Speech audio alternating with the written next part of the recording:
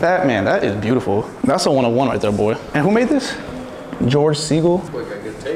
That boy got amazing taste. I'm not gonna lie. Look at both the jaw lines and how, how symmetrical they are. Because you know what they say, symmetry is the element of beauty. You know what I'm saying?